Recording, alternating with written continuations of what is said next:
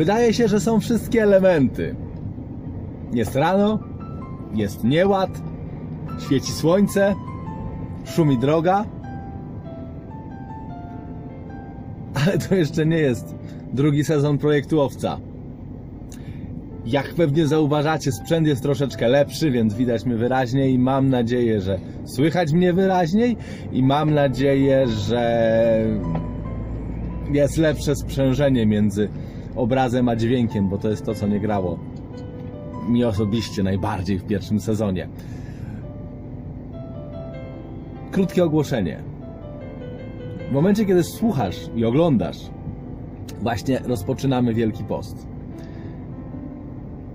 I chociaż rozpoczyna się on nietypowo, w ogóle ten rok jest taki trochę nietypowy, yy, bo rozpoczynamy go w walentynki.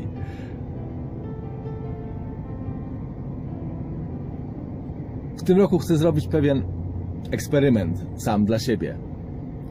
Chciałbym, żeby ten wielki post był czasem ciszy. Więc ja osobiście wyłączam się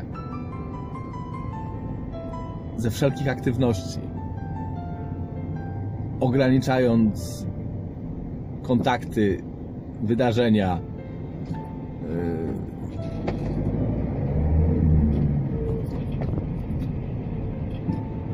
do minimum. Pragnę skupić się na Bogu, pragnę pobyć przez ten czas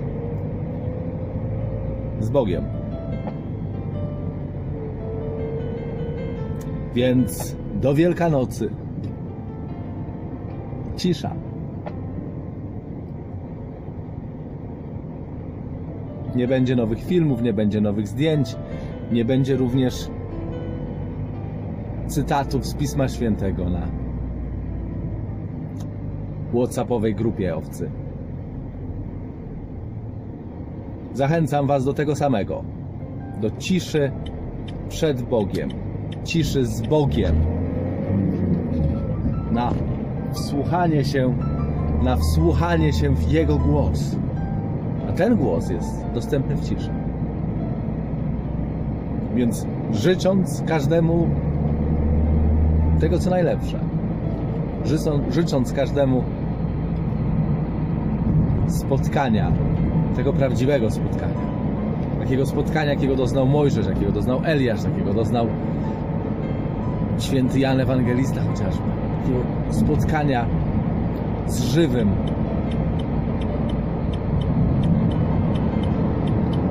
spotkania z żywym, żyjącym Bogiem. On pragnie tego kontaktu. Bo my goniąc nie zauważamy tego.